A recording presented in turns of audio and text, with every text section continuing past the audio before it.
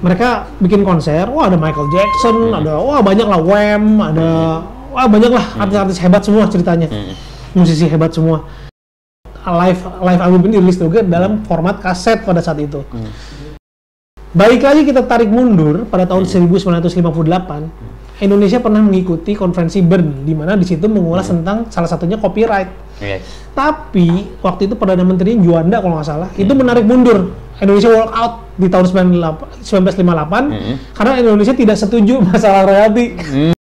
Ketika eh, format kaset ini muncul di Indonesia, rekaman-rekaman yang ada pada saat itu, Ya. apalagi di era tahun 80-an ini, mereka ngebajak aja mas. Nah si Live Aid ini termasuk salah satu yang dibajak oleh orang Indonesia Mm-mm.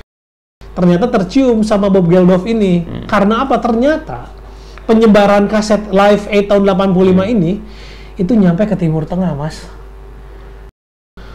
Wah, itu langsung disomasi tuh Indonesia. Bob Geldof marah datang ke Indonesia. Ini kan album kemanusiaan yang hasilnya didonasikan ke Ethiopia. Hmm. Ini mana gitu? Ini nggak bisa nih terjadi ini soalnya katanya sampai jutaan kopi gitu sih. Assalamualaikum warahmatullahi wabarakatuh. Warahmatullahi wabarakatuh. Eh, selamat sore orang-orang baik. Selamat sore semuanya Yes. orang-orang baik. Eh, eh, seperti tadi udah kita posting di story, kita bakal eh, konsultasi nih. Wah, konsultasi, konsultasi, sore ini. jangan, Itu ya, ini kita sharing, sharing ya. kita bakal aja. Hmm. ngobrol-ngobrol cantik. Oh, Nggak bukan cantik Nggak ya. cantik juga. Ngobrol-ngobrol kasep. Ngobrol-ngobrol. Ngobrol-ngobrol eh, ganteng. Ganteng. Bersama Mas Alvin nih Iya. dari Irama Irama Nusantara. Uh.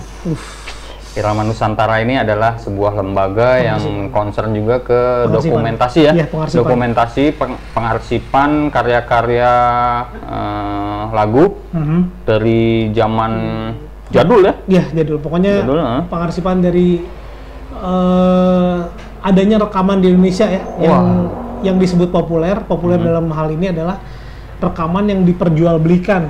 Itu Oh. kalau tercatat Hmm. yang ada di Irama Nusantara di yang pernah tercatat oleh kami yaitu sejak mungkin Hmm. 1915 atau 1920 1920 Iya, rekaman- karya yang pertama kali yang, ini. ya ada yang diperjualbelikan di Indonesia tuh Hmm. tahun segitu Wow. ternyata Yes. Iya.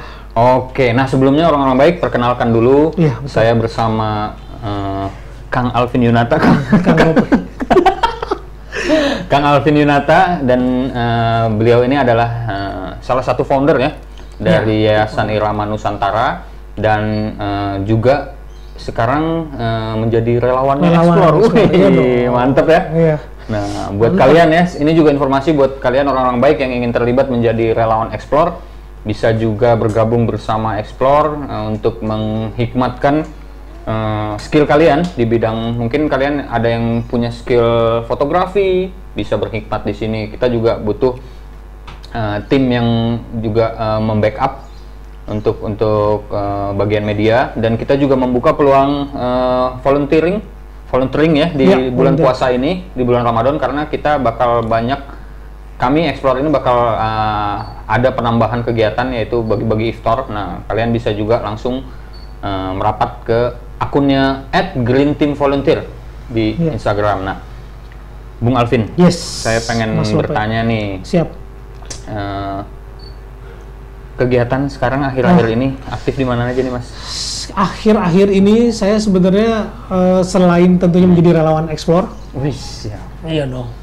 Saya juga kebetulan memang di akhir-akhir keterlibatan saya di Irama Nusantara, eh, saya memang sudah tidak lagi bekerja harian. Jadi para founder ada enam orang dari kami memang sudah ditarik ya. Jadi sudah di benar-benar di yayasan aja. Jadi sudah tidak banyak lagi. Tapi dengan itu eh kan sejak 2013 tuh kan kami mengarsip ya, mengarsip dan banyak sekali eh, data-data yang sudah terasipkan, terdigitalisasi dan kami melihat ini banyak sekali ya ternyata ya fakta-fakta sejarah yang ya khususnya kalau di Irama Nusantara tentang musik. Nah ini tuh benar-benar ini mau ke mana ini gitu. Sedangkan kalau tersimpan saja di museum tanda kutip kan harus mengajak orang-orang untuk melihat dan mungkin juga kalau orang-orang kalau masuk ke web Ira Nusantara bingung ini saya mulai dari mana ya ngelihatnya gitu.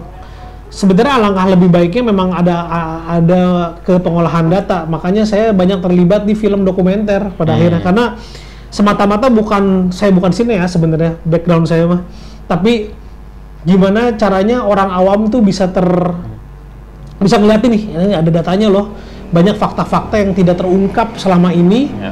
yang akhirnya bisa diungkap lewat format yang lebih bisa dinikmati oleh orang banyak yaitu salah satunya kalau nggak dari buku atau dari tulisan tapi yang yang berikut yang tahapan yang sedang saya jajaki adalah setelah empat tahun ke belakang ini film dokumenter Film dokumenter. ya jadi lagi di situ sih saya lagi lagi menggarap beberapa judul Hmm. film dokumenter Oke. Gitu. Nah, kalau dengan Teenage Death Star gimana kabarnya? Ya, The Star kan sebenarnya juga band yang sebenarnya nggak banyak manggung lagi dan alhamdulillah ya karena saya juga sebenarnya sudah bosan manggung karena sudah iya jadi menurut saya ya sebenarnya ternyata band itu ada kadaluarsanya sebenarnya Oh, gitu. jadi sama kayak makanan ya. sama bener saya tidak pernah tertarik ternyata ya kalau melihat band tua manggung tuh udah nggak pernah menarik perhatian saya lagi karena perubahan fisik itu ada Iya. gitu jadi Cepat lemas jadi gitu di- cepat di- lemas jadi secara fisik juga kelihatan kalau saya pribadi punya opini sebenarnya ada umurnya lah Iya. kayak gini-gini teh jadi eh, kalau saya pribadi sih kurang tertarik melihat band yang sudah tua gitu Hmm. jadi atas dasar itu juga saya sebenarnya agak agak yang sudahlah gitu kita Hmm. melakukan hal yang lain aja gitu kalau udah tua mah Kayak- tidak enak dilihat kadang-kadang tuh orang-orang tua main band teh Nah, gitu jadi sih mungkin kalau Rolling Stone juga nggak terlalu galau-galau. Saya udah nggak terlalu tertarik lagi. Kalau kalau manggung gitu. Mohon maaf gitu bagi fans-fans yang ada gitu, saya mah tidak Iya. pernah tertarik sama orang tua main band tuh gitu. Jadi melihat itu, saya melihat diri sendiri, ah nges lah gitu mah. Aduh, angges ya mah gitu. Butut mas. Letoy Iya, ya. hmm, Ya iya. oke, kita kembali ke tema. Ke tema. Kali ini kita bakal uh, mengupas, membedah uh, Voice of Humanity. Voice of nih. Humanity. Nah, ya info sedikit ya. Voice of Humanity uh, udah ada bandingannya nih. Betul. Jadi kalian orang-orang baik di Ini sini yang nonton nih ya. Jadi uh, kami membanding uh, album kemanusiaan Voice of Humanity ini dengan merchandise nih gitu. Hmm. Jadi kalian bisa berdonasi ya. Kalian ber- bisa berdonasi dengan nilai 100.000 ribu. Kalian bisa berkontribusi untuk support program Voice of Humanity. Itu juga tapi dapat bonus nih teman-teman. Jadi kalian dapat bonus pouch seperti ini yang saya pakai ini ya. Nah ya. Sama bicycle Ada- hat nih. Nah ini. Nah, sekarang eh, bentuk bentuk donasinya nggak hanya murni donasi, jadi tap- tapi dapat bonus merchandise kayak Merchandise gini nih kayak mas nih. ya, betul. Karena ini hasil dari donasi beberapa partner kita nih, Betul. partnernya Explore. Nah, ini kita berkolaborasi dengan CKS, yaitu eh, merek eh, sport ya. Hmm. Sport, Dia ya. juga memang merek produk-produknya itu banyak di eh, cycling. Oh, di Jadi, cycling. eh, di sepeda. Nah, ini salah satu yang support nih. Nah, keren kan? Desainnya oleh dikerjakan oleh Arkif. Wah ini nih, Mm-mm. Arkif ini seniman nggak muda sih, Hmm. tapi Iya. awalnya dia bermain di Toys ya, Nah. Uh, dan Arkif ini sepak terjangnya internasional sebenarnya. Jadi Ya, memang hmm. sangat hebat sekali ketika seorang Arkif mau bekerja sama untuk uh, berkolaborasi dengan uh, Voice of Humanity. Hmm. Itu keren banget karena kalau orang-orang baik lihat search aja ya Arkif A R K I V itu tuh luar biasa tuh sepak terjang beliau tuh di dunia internasional untuk toys dan desain grafis Wah, Karya-karyanya udah udah karya-karyanya mendunia ya. udah mendunia dan Ya, alhamdulillah kemarin ya, mau terlibat di pengerjaan Ya, ini betul, mas. Jadi wow, jadi merasa terhormat sekali Hmm. nih. Jadi eh, tap dieksekusi ke beberapa merchandise nih. oke Ini salah satunya eh, topi, ini dan pouch ini. Covernya juga bisa dilihat ya ini ini karyanya Arkif. Oke. Nah, Mas ya eh, bisa diceritain nggak? Kan kaitannya dengan Irama Nusantara ini pengarsipan ya. ya betul Jadi kalau buat di Indonesia eh, sendiri itu album kemanusiaan itu dulu udah pernah dilakukan belum sih? pernah, pernah. jadi gini Hmm. kalau ini mah ses- pengalaman pribadi juga saya tuh dulu pernah punya kaset ya, namanya tuh Suara Persaudaraan. Suara persaudaraan ya. Yes, namanya Suara Persaudaraan. Itu tuh kompilasi, Hmm. isinya macam-macam. Artis-artis besar Niki Astria lah, ada ada Pahama, Pahama tuh teman-teman eh, dari Bimbo. Mm-mm. Oh, Eh, iya iya. Dan itu tuh dirilis tahun 1982 Hmm. dan kebetulan kayaknya bapak saya yang beli waktu itu. Bukan saya yang jelas tahun 82 mah. Itu, itu ini 82 udah lahir ya? Udah lahir. Udah kelepasan ya. Iya. Nah, si ternyata memang Indonesia sendiri tuh dari zaman 80-an tuh sudah menelurkan kayak gitu dan untuk suara persaudaraan ini Ya. dia lintas genre juga. Jadi ada genre pop pada saat itu masih pop ya. Lalu lahir di tahun 90 itu Ya. juga pernah ada hmm, nama lagu yang katakan kita rasakan kalau nggak salah nama lagunya itu. Nah, itu tuh ada di album kompilasi dua kali rilis tahun 90 dan tahun 95. Jadi untuk sejarahnya memang si album kemanusiaan ini ada Eh, pernah ada lah di Indonesia ya, tercatat lah gitu. Itu yang yang yang yang, yang saya tahu. Mungkin di luar itu banyak ya. Setelah itu pun banyak dan setahu saya eh, album-album ini muncul juga di komunitas-komunitas ya. Komunitas Ah, ah, ya. di komunitas-komunitas eh, sampai tahun 2000-an tuh muncul lah, ada lah di komunitas musik solo kalau nggak salah pernah ada. Mungkin juga kalau di komunitas-komunitas yang lainnya kemungkinan besar banyak juga muncul gitu. Jadi tapi mungkin secara jumlah Mm-mm. Tidak terlalu banyak mas. Mm-mm. Eh, tapi yang ada cerita yang unik mas, memang si ngomong-ngomong tentang album kemanusiaan Ya. ini, eh, kalau pernah tahu tahun 85 itu pernah ada Live Aid. Live Aid. Live Aid ini adalah sebuah konser kemanusiaan untuk Ethiopia, kelaparan. Oh iya iya iya. Eh, diinisiasi oleh Bob Geldof ya. Bob Geldof ini seorang produser dan musisi juga yang ternama pada saat itu. Eh, mereka bikin konser, wah ada Michael Jackson, ada wah banyak lah Wham, ada wah banyak lah artis-artis hebat semua ceritanya, musisi hebat semua. Untuk eh, Ethiopia eh, dirilis juga live live album ini dirilis juga dalam format kaset pada saat itu. Ada di Indonesia ceritanya nih kasetnya. Kasetnya ada dirilis juga. dirilis di juga di Indonesia. Ternyata kan untuk dalam sejarahnya mun- eh, kemunculan kaset di Indonesia ini booming di tahun 70-an ini. Ya. Mungkin sekitar 73 sampai 75 saya tidak tahu persisnya di Indonesia mulai booming. Ini kan format yang paling murah Ya. dan yang dari dulunya rilisan piringan hitam tuh Indonesia itu saya bisa katakan bahwa piringan hitam di Indonesia itu bukan belum menuju industri musik, justru kaset Indonesia adalah negeri kaset di mana akhirnya secara umum orang-orang rakyat jelata pun bisa menikmati Bisa dikonsumsi sama lebih luas ya, karena murah luas. Hmm. karena harganya murah Hmm. Nah, balik lagi kita tarik mundur pada tahun 1958, Indonesia pernah mengikuti konferensi Bern, di mana di situ mengulas tentang salah satunya copyright. Yes. Tapi waktu itu perdana menteri Juanda kalau nggak salah itu menarik mundur Indonesia walk out di tahun 98 1958 Mhm. karena Indonesia tidak setuju masalah royalti. Hmm, Saya tidak tahu persis cerita di belakang itu kenapa tidak Alasannya setuju ya, gitu ya. alasannya. Nah. Pokoknya nggak setuju, saya nggak setuju harus membayar royalti ke kalau kita ke apalagi ke Eropa atau ke Amerika. Mungkin ini ada alasan politis pada Hmm. Iya, saat iya. itu. Berkat itulah akhirnya ketika eh, format kaset ini muncul di Indonesia, Hmm. rekaman-rekaman yang ada pada saat itu Ya. apalagi di era tahun 80-an ini mereka ngebajak aja mas. Cuek. Nggak oh ada bagus nih album mereka rilis Ajar, aja. bikin aja, dan bikin ya. jadi jadi liar aja. Jadi kondisi Indonesia itu pada saat itu liar aja semua ngerilis asal aja. Pokoknya mah saya ngebajak. Kalau nggak salah itu kebanyakan dari piringan hitam ya menurut cerita-cerita. Mm-mm. Dari piringan Tapi hitam diproduksi beri, dalam- terus nanti diperbanyak dalam bentuk kaset bentuk gitu ya. kaset, Dan banyak. dikonsumsi sama Dikonsumsi. Nah, si Live Aid ini termasuk salah satu yang dibajak oleh orang Indonesia. Mm-mm. Tercium, Mas, ternyata, Mas. Kan orang Indonesia sebagai dunia negara ketiga mah tidak merasa mungkin mereka ah polos aja ya. Ya. Ternyata tercium sama Bob Geldof ini. Karena apa? Ternyata penyebaran kaset Live Aid tahun 85 ini itu nyampe ke Timur Tengah, Mas. Kaset produksian produksian dari Indonesia, ini Asia sampai diekspor ya. Jadi Sampai bukan hanya dikonsumsi oleh Iya. eh, masyarakat Indonesia gitu. Mungkin para pembajak nggak nggak berpikir sampai situ, Ya. ternyata nyampe ke seluruh Asia dan Timur Tengah. Wow. Kecium udah sama Bob Geldof pada saat itu. Wah, itu langsung disomasi tuh Indonesia. Pada saat itu Menteri Luar Negeri, aduh, ha, lupa saya namanya.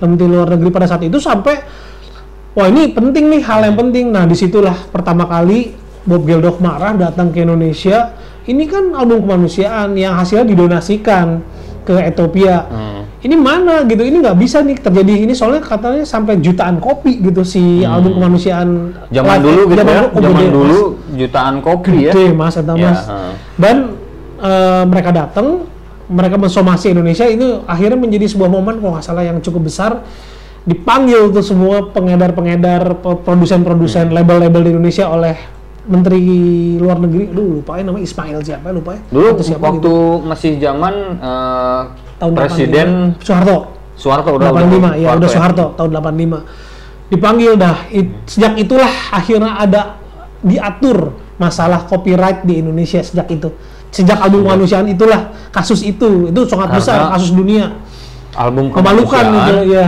dibajak dan hasilnya, Hasilnya entah ke mana, Ethiopia, kan? tapi jadi masuk ke kantong-kantong kantong-kantong para pribadi produsen para ya, produsen. Nah yang bikin itu ya waduh. dialah akhirnya sejak itulah akhirnya Indonesia Copyright itu- punya lagi undang-undang tentang copyright di Indonesia. Jadi lucu lah Iya. si album kemanusiaan sejarahnya dia adanya di Indonesia itu. mungkin mulai dari situ ya jadi tumbuh kayak eh, record label terus Iya. kayak kayak apa namanya publisher gitu Iya, gitu yang ya jelas dari tahun 80 Iya, walaupun belum belum belum belum sempurna ya. Hmm. Sampai tahun 2000 pun saya rasakan belum sempurna. ya Tapi eh, paling tidak ada lagi nih undang-undang yang mengatur tentang masalah eh, hak cipta di Indonesia pada saat itu ya semenjak semenjak- semenjak kejadian itu tahun 85 gitu Mas. Oh, Nah, oke. jadi memang ketika Explore Humanity ngeluarin Voice of Humanity ini menurut saya bagus ya karena eh tidak banyak walaupun pernah ada, cuman tidak banyak gitu. Eh, waktu tahun 90-95 yang Ya. katakan rasa itu itu kebanyakan rock. Jadi semuanya itu kompilasi rock. Jadi band-band rock genrenya genrenya satu. genrenya satu ya Mm-mm, Oh, rock. oke Seperti yang tahun 82 yang ra- suara persaudaraan juga didominasi oleh pop. banyaknya artis pop Ah, ya ah, jadi kalau untuk multi genre seperti di Voice of Humanity ini kayaknya baru baru sekarang ya mungkin baru sekarang mungkin ada di komunitas-komunitas tapi kebanyakan genrenya sama genrenya ya. sama Nah, kebanyakan ya mungkin ada mungkin saya kalau- salah kalau ini eh, lintas genre nah ini yang Jadi- saya kagum dari Nah. waktu itu Mas Lope telepon eh saya mau bikin ini wah menarik nih karena di sini di Voice ini multi genre sekali ada Hmm. Rocket Rockers ada Eka Anas The Brandals ada Yas Budaya Lone Atlas ada Rudai dari Leon ya Revara yang dulu apa Killing Inside ya Inside. Nah, ada Fadli Padi, ada Glory of Love, ada Harlan Dur yang bekas sama David Hersya, Iya. Semak Belukar, Hmm. ada Noh Saleh dari Malaysia, ya. Malaysia. Ini kan ada MP Boys, Ini udah Dia dia, lintas wah ini negara udah juga ya. lintas negara, lintas genre. Ini menarik sih sebenarnya album ini. Oh, Oke. Nah, Mas, Ya. kalau eh, itu kan tadi lintas genre dan eh, lintas negara juga ya. Nah, Ya. ini untuk karya karya musik eh, ini katakanlah tanpa alat musik nih. Hmm, Eh, voice only. voice only. Ya. Kalau perkembangannya sendiri itu seperti apa sih? Kaitannya dengan ini ya dengan dengan album kemanusiaan ini. Oke. Hmm. Sebenarnya kan masa uh, akapela ini sebenarnya memang sudah ada ya. Uh, format akapela ini memang sudah ada gitu dan uh, memang kelebihannya kalau saya lihat ya ketika uh, kita menikmati lah ya orang-orang menikmati sebuah uh, uh, album akapela ini kelebihannya adalah gini deh kekurangan uh, kalau kita mendengarkan album musik biasa itu tuh kan ter- ada ada ternyata ada dua ada dua ada dua output di mana orang menikmati hanya musiknya saja. Karena ada orang yang tidak peduli sama liriknya. Dia hanya mendengarkan alunan musiknya saja gitu. Ada mereka tidak peduli sama uh, liriknya. Ada juga orang yang memang peduli akan keduanya. Nah untuk menyuruhkan menurut saya pribadi eh, efektivitasnya album kemanusiaan Voice of Humanity ini adalah dibuat akapela karena kalau kita mendengarkan album akapela itu mau nggak mau kamu mendengarkan lirik. Hmm, dan sedangkan lebih kan dominan lebih liriknya dominan gitu. lirik dan kamu mau nggak mau dan memang itu yang sebenarnya karena Voice of Humanity ini kan ada pesan ya, di dalamnya gitu ada pesan kemanusiaan. Lebih efektif gitu jadi karena mau nggak mau eh, para pendengar mendengarkan lirik jadi langsung tujuan tujuan album ini langsung tercapai gitu mas. Hmm. karena langsung mau nggak mau kamu mendengarkan lirik gitu. Jadi oh ini tentang ini ini tentang A ini tentang B gitu. Itu kehe- kehebatannya sebenarnya. Hmm. akapela itu kekuatannya apa? Lirik lirik tuh pasti didengar karena eh, saya punya banyak teman ketika mendengarkan musik itu dia nggak peduli lirik. Karena dia mau mendengarkan lagunya aja ya, aransemen aja. dan, eh, nah kalau emang sepak terjang Voice Humanity ini ingin menyampaikan kebersamaan dalam bantuan donasi eh, kemanusiaan maksudnya sebenarnya memang sangat efektif gitu mengeluarkan versi akapela karena yes itu justru tujuannya kan mas ya benar-benar orang-orang biar mendengarkan liriknya gitu apa sih tujuannya ngajak apa ini tuh mereka Hmm. Ya, gitu ya, ya. artis-artis ini gitu Oh. itu sebenarnya mas kalau dari saya Siap mas. Nah kalau Mas Alvin sendiri udah Hmm. udah eh, denger kan? dengar mas Favoritnya tracknya yang mana nih? Eka Anas eh keren eh Eka Anas keren ya budaya juga eh maut eh Oh, Hmm. gokil ya. kalau yang mau suka Beach Boys Beach Boys Hinoh juga menarik Noh Saleh ya? Noh Saleh ya kayak, kayak Beach harmonisasi Beach Boys gitu Noh Saleh Hmm. Terus kalau mau yang adem-adem Fadli ya.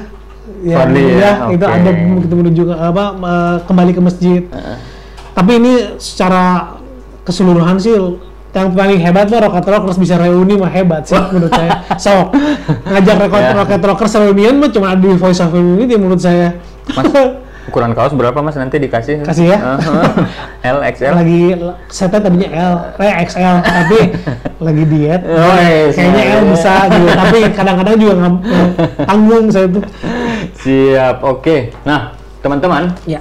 Eh, buat teman-teman yang terus mantengin dari awal tadi kita juga udah share beberapa informasi tentang eh, kompilasi, Kompilasi Voice of Voice of Humanity. Buat kalian yang standby nonton ada 5 giveaway, Hmm. 5 giveaway dari eh, album Voice of Humanity kalian bisa dapatkan nanti. Pokoknya siapa yang paling cepat komen ya nanti bakal mendapatkan eh, album ini. Mohon dipantau ya untuk panitia ya. Nanti di screenshot nanti bisa eh, eh, biar ketahuan yang mana yang menang ya. Tapi cuman CD-nya aja ya. CD-nya aja ya. Cuman CD-nya Nggak sama aja ini ya. Nah, nggak nggak sama nggak sama sama, ini ya. merchandise. Kalau kalian mau mendapatkan paket bundling merchandise-nya, saya ingatkan kembali follow aja dulu eh, Instagramnya at explore.merchandise. Di sana kalian bisa cari tahu dan eh, tanya-tanya ya. Mm. Pokoknya program ini eh, donasinya kalian udah bisa berdonasi dan dapat bonus ini nih, dapat bonus CD, pouch dan eh, bicycle head ini eh, cuman minimal dengan berdonasi 100 ribu. Seratus ribu, Hmm. aduh seratus ribu mah, hah? ya dapat ini, dapat pouch, wah tuh, Iya, Itu kenapa mah bisa murah gini mas? Karena murah, ini Mas. juga hasil donasi para eh, donatur yang terlibat di sini nih. Ada kita yang terlibat eh, ada Terang Jogja, ada Polar Hmm. Berdi, ada Bumus, ada Maternal, Bejer, Skrimus, FYC, Inspiratif TV, ada JNE, ada PED dan ada CK Sport. Alhamdulillah. wah yang yang, support. donaturnya juga lintas ini ya, lintas juga nih ada rumah juga. Padang mas, Ada rumah Padang. ada komunitas, sepatu skate, ada sepatu skate, Ya. ada juga eh, merek ke oh ya ada merek anak clothing, clothing anak muda, ada ada maternal, ada TV, Ada TV. ada juga pengiriman ya. ya, wah Alhamdulillah. Jadi Hebat eh, ini. memang kontribusi untuk kemanusiaan ini kita butuhkan kolaborasi seluas-luasnya mas. betul betul, Jadi nggak hanya dari mus- misalnya suatu komunitas atau Hmm. suatu eh, perusahaan di bidang apa. Jadi kita harus bersama-sama. Makanya kita juga mengkampanyekan eh, hashtag Together for, For Others. Others. Nih di sini ya, bisa dilihat ya. Jadi buat membantu sesama itu nggak bisa sendiri-sendiri. Jadi harus berjamaah, berjamaah harus bareng-bareng. bareng-bareng, Karena kalau eh, dengan berjamaah itu, insya Allah apa yang kita lakukan ini bisa terasa lebih ringan. betul, bisa Begitu. tersebar lebih luas, Iya, Ya, heeh, eh. kolaborasinya. Nah, ini nih yang mungkin dinanti-nanti sama eh, orang-orang baik di dalam sana tadi. Nah, ini kita bakal bakal share 5 eh, pemenang giveaway. Eh, kalian cukup menyebutkan eh, tiga pengisi Hmm. eh, pengisi pengisi ke album album sih, Iya, Voice of, Voice of Humanity tadi udah disebutin ya? Udah. Ah, udah Se- disebutin tadi yang- ada Rocket Talkers, ada Foka Farabi, ada Ekanas. Iya, ngomong kok disebutin lagi? disebutin lagi gimana ya itu? Pokoknya Iya. ah, jawabannya ada di sini. Ada di situ. Ah, Iya. di sini nih, lihat aja. Coba ya kita tunggu. Pokoknya kalau sudah ada kasih tahu ya. Eh, jadi kita bakal ngasih hadiah 5 giveaway buat kalian yang beruntung di rumah. Tapi yang udah men- pernah menang Jangan lagi. nggak bakal kita kasih lagi. Iya dong, maaf udah. maaf ya. Bagi-bagi Ah. sama yang lain. Ya, oke. Nah, Mas, Yap. eh ini kan butuh eh Oh, jawabannya via DM katanya. Oh, DM aja. Jawabannya via DM aja, via DM ya. Jawabannya Jangan lupa ya. ah, jangan lupa. Jadi jangan di komen ya, di via DM ya. DM langsung ke akun ini, explore eh, humanity.id. Oke, ditunggu ya. Tiga eh, musisi atau artis yang terlibat di album kompilasi Voice, Voice of, of Humanity. Humanity. Ditunggu jawabannya yang paling cepat, yang paling geber itu nanti yang bakal mendapatkan eh, eh, giveaway dari Explore, Explore. ya. Oke, nah, Mas, Yap. eh, kalau Mas Alvin sendiri, Mhm. eh, ini kan gerakan ini gerakan kepedulian ya Mas ya. Ya. Jadi harapannya dengan adanya kompilasi ini ke depan seperti apa nanti? Eh, saya sih berharap dengan adanya kayak gini tuh sebenarnya tuh pertama adalah gimana kita sama-sama eh apa pun backgroundnya gitu mulai melek lah ya sama sama keadaan sekitar lah sama keadaan kemanusiaan ini karena memang eh berbagi itu ternyata penting sekali ya saya semenjak bergabung dengan sebagai relawan explore juga. Wah ternyata saya nggak belum tahu banyak gitu tentang kayak gini dan banyak sekali gitu saudara-saudara kita di luar sana yang membutuhkan pertolongan ya. Karena ternyata baik di lokal maupun di luar negeri banyaklah eh, saudara-saudara kita yang ternyata masih butuh pertolongan. Dan sampai saat ini masih terus butuh ya. Hmm. jadi kayaknya yang saya harapin sih dari dari dari kayak kayak eh, voice of Humanity ini adalah sebenarnya kolektivitasnya sih. Hmm. jadi eh, semangat kolektivitas untuk membantu sesamanya itu penting mas. Hmm. karena kayaknya eh, Indonesia tuh sebetulnya punya punya dasar kalau udah bersatu kuat banget lah. Ya lihat aja lah Nosan eh, kalau udah kalau udah mendukung tim nasional ya lihat aja gimana mereka tuh bersatunya tuh wah merinding lah ngeliatnya lah orang Indonesia kalau udah bisa nah ini juga mudah-mudahan uh, si album Voice of Humanity atau kegiatan-kegiatan program seperti ini tuh bisa menularkan lah ya kebersamaan ini untuk ke, ke- keadaan sekitar yang lebih baik lagi lah. Buat Itu sih, buat- untuk membantu. kemanusiaan ya. Ya kemanusiaan bantu sesama gitu. Oke orang-orang baik. Nah tadi kita sudah eh, membahas eh, sejarah Mhm. Album kompilasi itu seperti apa dan kompilasi kemanusiaan itu seperti apa. Mhm. Ya yang luar biasa ya kita dapat sumbernya langsung nih dari Iya, tapi foundernya ya, Irama nggak Nusantara. ya, nggak tapi nggak apa-apa lah, mewakili Ya, aja. Mudah-mudahan Iya. eh, apa yang kita share sore ini Iya, eh, membawa ada kebaikan. insert ya, Iya. ada insert yang bisa eh, orang-orang baik dapatkan. Iya. Dan ternyata kepedulian eh, para musisi itu udah ada sejak Udah dari ada zaman sejak dulu. zaman dulu, iya. Mm-mm, jadi ini adalah mungkin program ini adalah rangkaian estafet aja sebenarnya. Betul, Jadi iya. ketika ada bencana pandemi yang kemarin ini gagasan ini muncul Hmm. dan eh, ternyata keterlibatan musisi pun juga ada Iya betul. ketika ada eh, bencana dan katakanlah eh, harus bergerak ternyata para musisi itu memang peduli ya. Ya. Heeh, ya mudah-mudahan hmm, kepedulian ini bisa juga eh, meluas ya menjadi ketuk tular kan kita tahu sendiri kalau musisi ngomong apa biasanya orang-orang tuh langsung, Langsung. eh, banyak yang bisa Banyak bisa yang- bisa iya. eh, kena imbasnya Kena ya imbasnya, betul. karena eh, itu dia kekuatan mereka itu kita juga harus eh, optimalkan ya Betul. Mungkin bisa jadi kibasan yang em, bisa berdampak positif, Positif buat buat tentunya, masanya masing-masing tentunya dan eh, buat audiens yang lebih luas Betul. lagi mas ya Ya. Uh, udah berapa? Ini udah sejam ada? Oh, belum, belum, belum, belum, masih, masih. eh, ya udah tapi kayaknya udah mau masuk waktu asar Oh iya benar ya, kayaknya kita Jadi sudahi kita dulu ya. harus eh, berpisah mungkin. Terima kasih atas Sama-sama, kehadirannya Mas Lope. Mas Alvin. Mudah-mudahan urusannya lancar. Sekarang juga lagi ngegarap eh, beberapa proyek ya. Iya, Mudah-mudahan ya. eh, proyeknya Iya. lancar dan Nanti kita bikin proyek bareng ya tentunya ya. Pasti Untuk dong. explore, iya dong. Kayaknya mau nih kita kita Kayak dokumenter. masih banyak ya. PR nih kita nih ya. Ya Ah. harus harus harus harus terus berkolaborasi Ya ya. kalau lihat nanti juga Explore Humanity baru aja ngeluarin dokumenter Oh iya, pendek hari Jumat lalu ya. Hari Jumat lalu kita udah rilis tuh eh, per, kisah perjalanan kemarin menghantarkan bantuan untuk eh, pengungsi Surya. Langsung Suryana. Bisa Itu seru tuh. nah. Ditonton aja terus. Bisa dicek di YouTube ya. Di Iya. YouTube-nya Explore Humanity eh, yang baru paling-paling kemarin baru rilis tuh ya. Oke. Nah, Hmm. Oke. orang baik eh, mungkin eh, itu aja yang sore ini dapat kami sampaikan. Eh, mudah-mudahan kita bisa bertemu lagi di lain kesempatan dengan juga narasumber yang Lain lagi. lain lagi yang Ya, lebih betul. yang pasti juga bisa inspiratif juga ya Betul. seperti Oh, memang enggak. Oke. Oke. Ya, terima kasih. Terima kasih. Eh, saya Rizky Farli pamit. Saya Alvin Yunata. Oke, wassalamualaikum warahmatullahi wabarakatuh.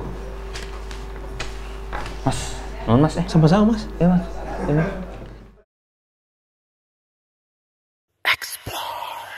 inspiring a better future.